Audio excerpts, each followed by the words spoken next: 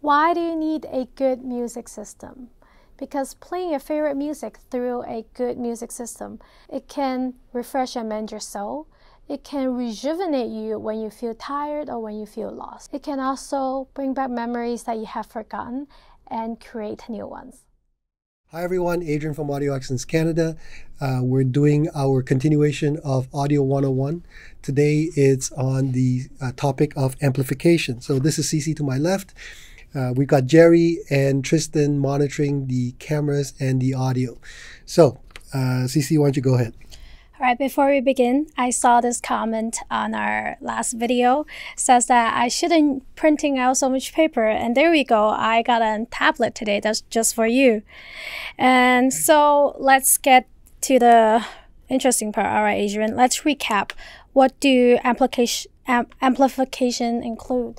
Okay, so if, for those of you who haven't seen our past video, we talked about uh, Audio 101 on a high level and what uh, amplification means. There are basically three categories of amplification. There's a receiver, which is uh, this unit over here. And basically, a receiver includes the following uh, components. You have a tuner, like, just like your AM and FM tuner in your car.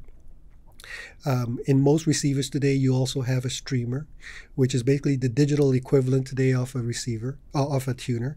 Then you have the preamp section, which is the device that allows you to switch between your music sources. So let's say you have a, a CD player, a turntable, um, a streamer, and something else. So you need to be able to select between these different music sources.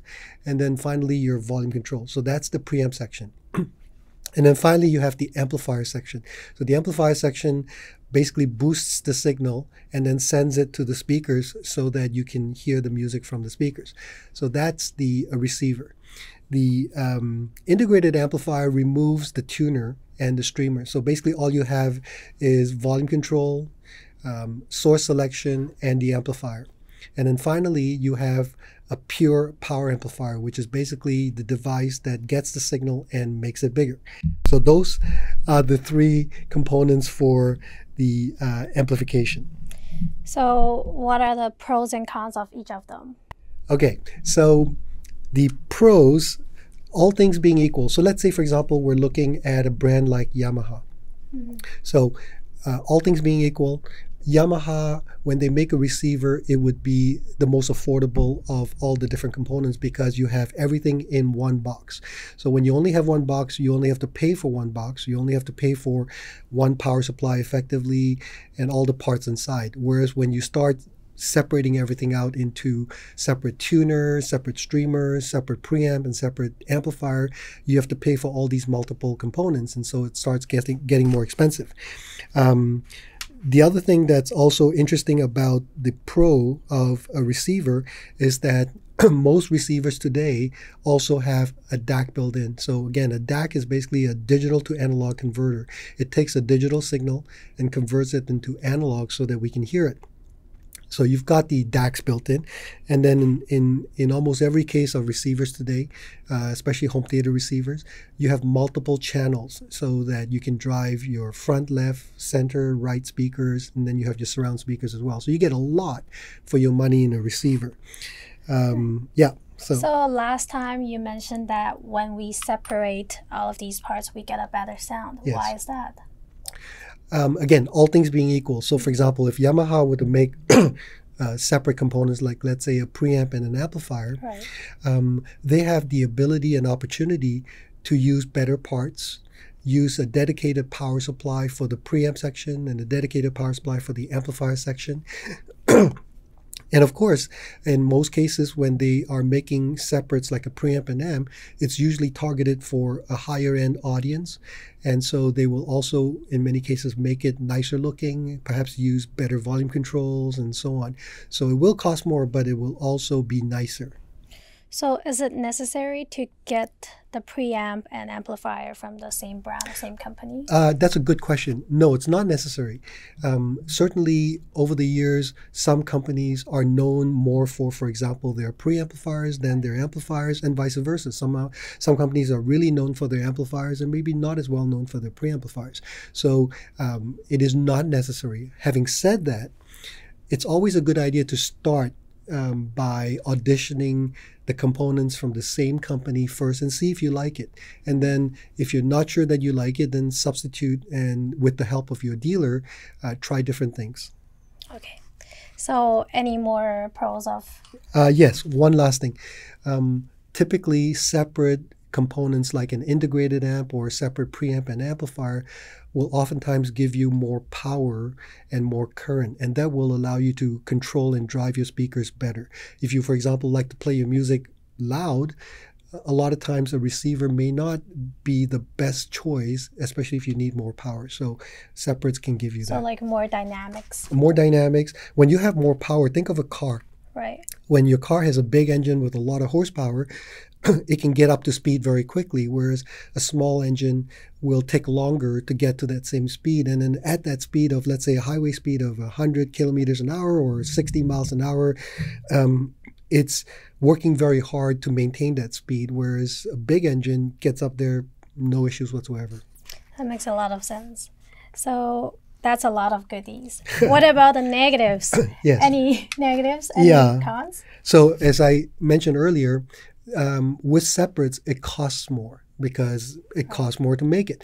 So you have more boxes to pay for, more parts inside. And again, typically, all things being equal, the same manufacturer is targeting a higher end audience.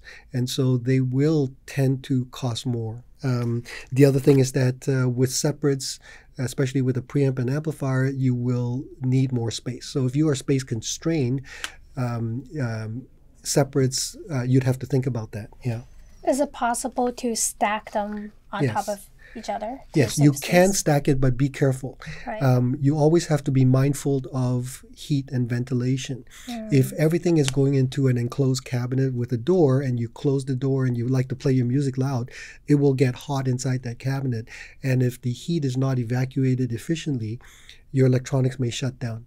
And, and in some um, extreme cases, it can damage your speakers and the electronics. So just be careful of that. If, if, um, if you're not sure, uh, touch the electronics at the level that you're playing at and see how hot it is. If it's getting pretty hot, um, then open the doors or relocate the electronics. So ideally, do we have the electronics in the middle and then the speakers on the side? Uh, in an ideal situation, you want to keep your wiring as short as possible. So if that means putting the electronics in between the speakers, mm-hmm. do that. Uh, so you can typically run, say, an eight foot pair of speaker cable from the electronics to the speakers if the electronics are in the middle. But if, let's say, the electronics are off to the sidewall and then the speakers are in front of you, you might have to run 15, 20, 30 foot pair of speaker cables. Uh, so uh, again, everybody's situation is a little bit different. Um, whenever in doubt and you can manage it, put the electronics in the middle. Any other tips in terms of amplifications? Um, yes. Um, so this is jumping a little bit ahead, um, but um, you want to make sure that your amplifiers, uh, whether it's a receiver or integrated or separate preamp and amp, make sure that the amplifier's power is sufficient uh, for your speakers that you like. So, uh, in the case of a speaker, one of the uh, specifications that they'll give you is impedance. So, the mm-hmm. speaker's impedance might be rated at, say, 4 ohms, which is a very common number. So, 4 ohm is relatively low. You want to make sure that your receiver or your amplifier is rated for 4 ohms. A lot of times it might say 6 ohms or 8 ohms.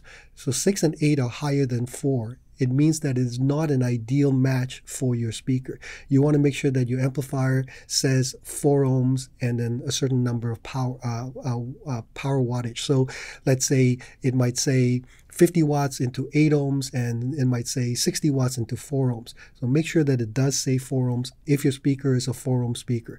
Now, if your speaker is 8 ohms and your receiver says 50 watts into 8 ohms, then it does have the matching capability. It still doesn't mean that it can play loud enough for you, but it just means that it will match. So that's one thing to watch out for. Okay, what about, oh, yeah, for turntable. Yes. Do we need a phono stage? Yes, that's a very good question.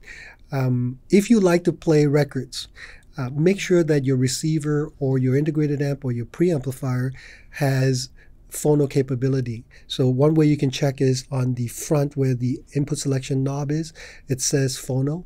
Mm-hmm. Um, now sometimes it'll say phono slash auxiliary or phono slash line. In that case, more often than not, it doesn't actually accommodate a phono signal. A phono signal is a very, very low signal. The, the signal coming out of your turntable is very, very low compared to a CD or a streamer. So it needs to be amplified. So if the receiver or your integrated amp does not have a phono stage, it cannot do it properly. Uh, a phono stage also takes the signal and re-equalizes it again, we'll talk about that another time. So one way to know for sure is number one, check with the receive uh, the manufacturer, check with the website or the dealer, and the other way is that if you turn the unit around on the back of it, if it has phono capability, there should also be a a, a, a nut um, that you can connect your turntables um, ground connection to. Um, either uh, uh, Jerry or Tristan will show you a picture of that. Um, um, and also, most budget turntables will come with a cartridge that is what we call a moving magnet. And make sure again that your preamplifier says moving magnet, not moving coil. So there are two very different kinds. Make sure it says moving magnet to match the cartridge of your turntable. All right, so that's a lot of information today to throw at you guys. Too much. it's too much.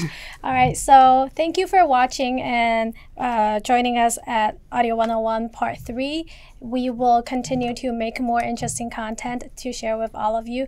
And if you have any questions, any suggestions of future videos, please comment below and. Uh, that's it for now. That's right. We'll see you again next time. Adrian from Audio Excellence, Ceci, Tristan, and Jerry. We'll talk to you next time. Bye-bye. Bye.